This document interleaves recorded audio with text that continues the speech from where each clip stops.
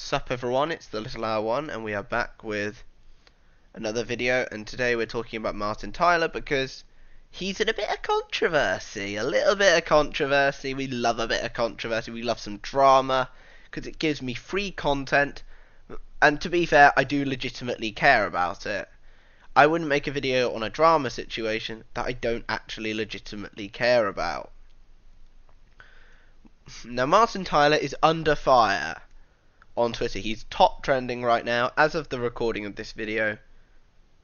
And of course, I'm just going to quickly get some tweets up. They won't be on screen, but I'll link some below. Let me just quickly go to Twitter.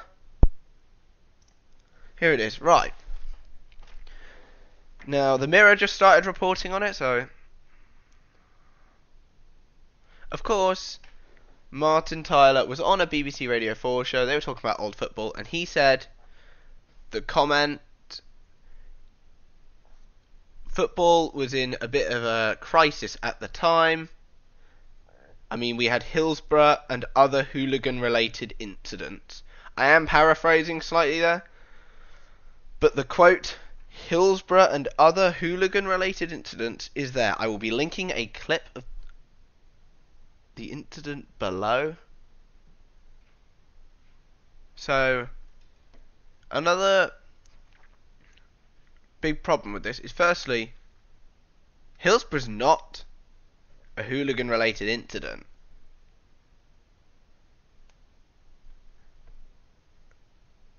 I mean, if you think it was, you're a bit of an idiot, if I'm perfectly honest. Liverpool fans were cleared in the last inquiry into the situation. They were completely and totally cleared of any wrongdoing, and it was blamed on the inadequate resources and police. Hillsborough was not caused by hooliganism. That's just a fact. Uh, the next reason that this is bad is, and is just like it completely discredits all the victims all 97 of them who died that day from being crushed. It's honestly one of the darkest days in football that day. Thank, I mean, to an extent, I wasn't actually alive at the time, of course. I think it happened in like 1991, I'm gonna assume. Uh, someone put in the comment, please correct me if I'm wrong. Uh, no, sorry, it's 1989. I was two years out. I wasn't far off. Now, I do, to an extent,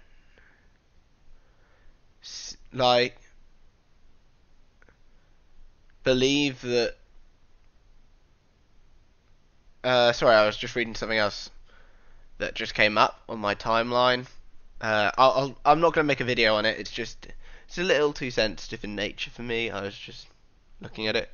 Uh, but yeah, the main thing with this is I've seen a few people defend him on this and say he wasn't implying that Hillsborough was a hooligan related incident. He was just talking about Hillsborough and then some other hooligan related incidents.